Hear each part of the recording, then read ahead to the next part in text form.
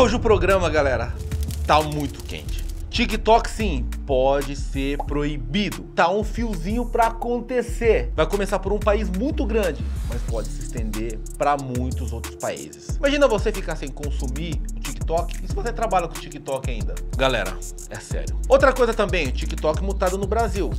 E pode piorar muito mais se a galera se ligar. Nossa, TikTok, hoje é. Nossa, hoje tá perigoso o TikTok. O TikTok não pode assistir esse vídeo hoje. Outro BO, Apple. Tem aquela batalha Epic Game e Apple. Faz um tempo já que tá rolando. O pessoal achando que o desfecho já tinha finalizado, tava tudo ok. Mas não, ainda não acabou. E eu e você podemos ser beneficiados ou não também. Podemos lascar tudo aí. Vamos ver tudo isso hoje no Dudu News. Roda! Fala galera, vocês estão bonzinhos aí, meus filhos? Vamos começar falando da batalha Epic Game e Apple. A gente achou que tava tudo ok. Tá finalizando, graças a Deus, vou poder jogar tudo que eu quero lá. Ah, calma aí, filho. A batalha Epic Game e Apple ainda não acabou não, meu filho. A União Europeia está investigando a decisão da Apple de encerrar a conta de desenvolvedor da Epic Games, citando três regulamentações distintas que podem ser aplicadas. A Epic Games acusou a Apple de violar a Lei de Mercados Digitais, a DMA, e ao encerrar sua conta de desenvolvedor, após a empresa planejar lançar sua própria loja de aplicativos e o jogo Fortnite na plataforma iOS na Europa. Mas a União Europeia está avaliando se as ações da Apple levantam dúvidas de conformidade em relação à Lei de Serviços Digitais, a DSA, e a regulamentação de plataformas para negócio, a P2B, devido aos links entre a adesão ao programa de desenvolvedores e a Apple Store. A DMA exige que a Apple permita lojas de aplicativos de terceiros, com penalidades graves por não cumprimento. E o DSA e o P2B também são considerados com multa possíveis por violações. Mas a Apple justificou o encerramento citando uma decisão judicial dos Estados Unidos e alegou que a Epic violou seus termos contratuais. No entanto, porém, a validade dessas decisões no regulamento da União Europeia é questionável.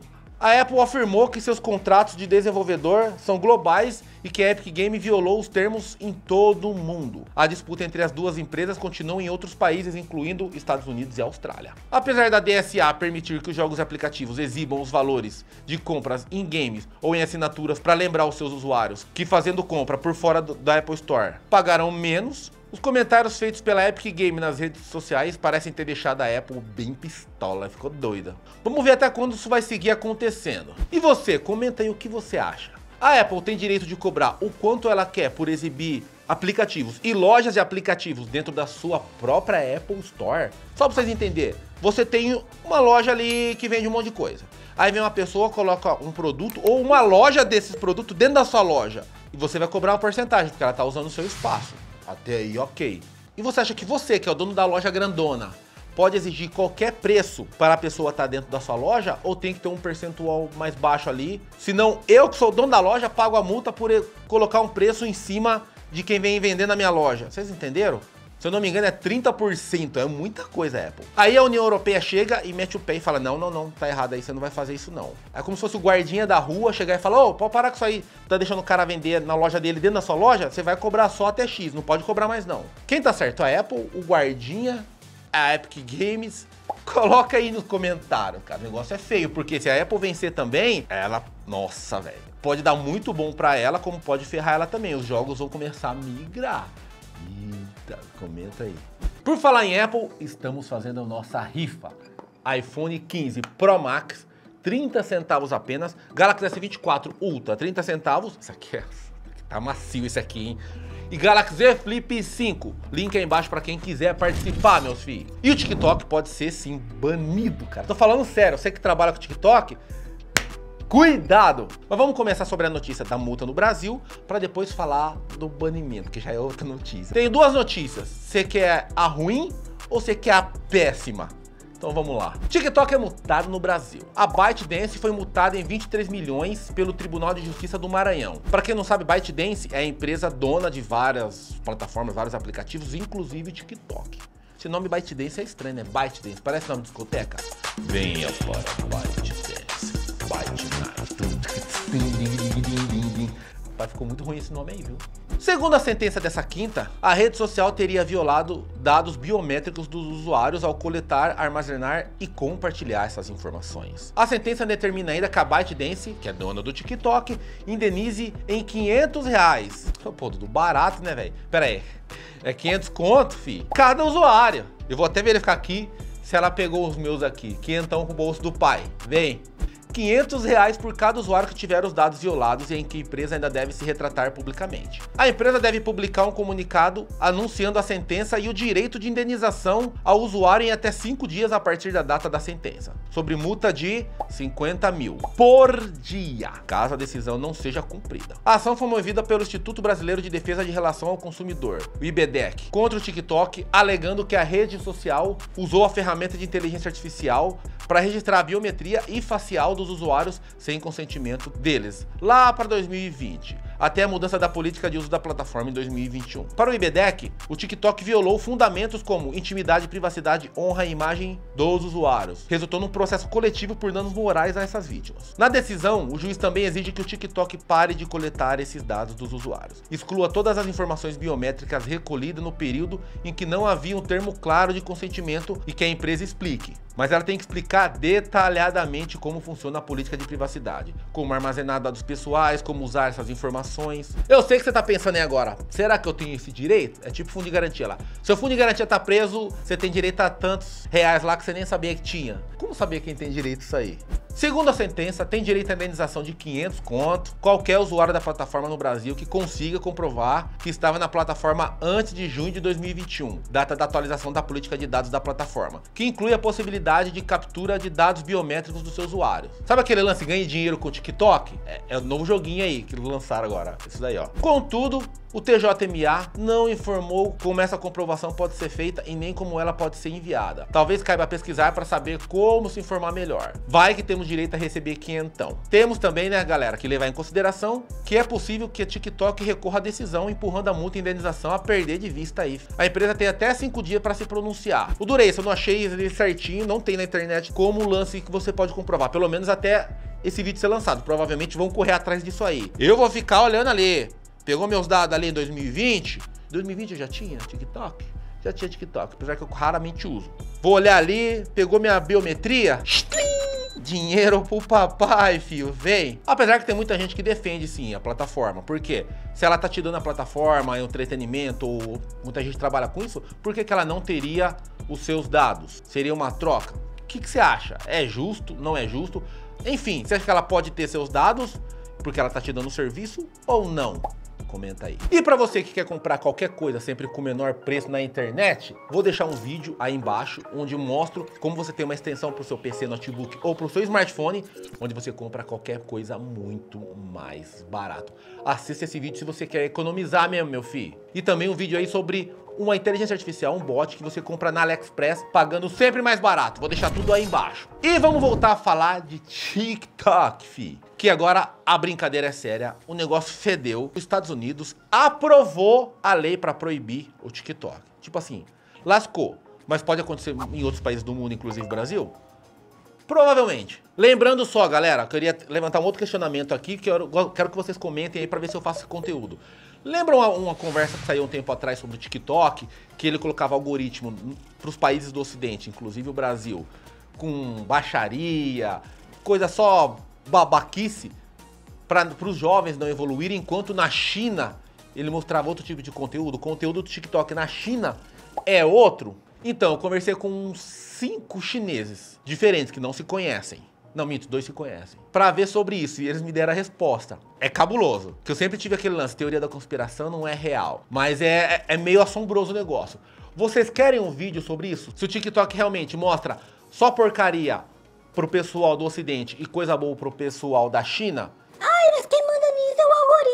ah, calma aí, filho. Se vocês quiserem um vídeo completo sobre isso, comentem aí embaixo. Eu só vou fazer se vocês comentarem bastante. Dudu, queremos o vídeo do TikTok, queremos o vídeo do TikTok, do algoritmo do TikTok. Tem um material muito louco pra mostrar pra vocês, mas é aquilo, eu não vou perder tempo se não vou dar views. Hoje em dia tá muito difícil views, né? Então comentem aí embaixo e vamos continuar com a notícia. Para falar em batalhas que não acabam, o Comitê de Energia e Comércio da Câmara dos Estados Unidos votou por unanimidade na quinta-feira pela aprovação de um projeto-lei que daria a ByteDance, que é dona do TikTok, 165 dias para se desfazer de suas propriedades do TikTok ou efetivamente enfrentaria uma proibição dos Estados Unidos. O projeto de lei, Lei de Proteção dos Americanos contra aplicações controladas de adversários estrangeiros, foi apresentada no último dia 5 de março pelo deputado Mike Gallagher e pelo deputado Rajna Krishnamurti. Complicado, hein? E aprovado, o projeto de lei impediria que aplicativos controlados pela ByteDance, incluindo o TikTok, estivessem disponíveis nas lojas de aplicativos da Apple ou do Google, ou em serviço de hospedagem na web nos Estados Unidos, a menos que tal aplicativo corte vínculos com entidades como ByteDance, que estão sujeitas ao controle de um adversário estrangeiro. Desde o governo Trump, o TikTok tenta se manter nos Estados Unidos e até hoje está funcionando sem restrição, mas segue sendo alvo de legisladores americanos. Na quinta-feira, o aplicativo do TikTok exibiu um alerta aos usuários instando-os a se oporem à legislação e dizia: pare de desligar o TikTok. E solicitando que o público ligasse os seus representantes do Congresso com a mensagem: Deixe o Congresso saber o que o TikTok significa para você e diga-lhes para vote não. O que o TikTok significa para mim? É que tem gente que trabalha com ele também, né? É complicado. Isso levou uma enxurrada de telefonemas para o escritório no Capitólio. Galera, não é Capitólio no Brasil, não, viu? Tem um turista lá, né? Os caras acham que é lá em Capitólio, né? É, é Estados Unidos. De acordo com o New York Times, citando postagem nas redes sociais. Num comunicado após a votação, o TikTok disse: esta legislação tem um resultado pré-determinado, uma proibição total do TikTok nos Estados Unidos. O governo está a tentar privar 170 milhões de americanos ao seu direito constitucional à liberdade de expressão. Isso prejudicará milhões de empresas. É, por um lado tá certo também, né? Não, terra da liberdade. É que tem muito mais coisa embutida nesse jogo aí, galera.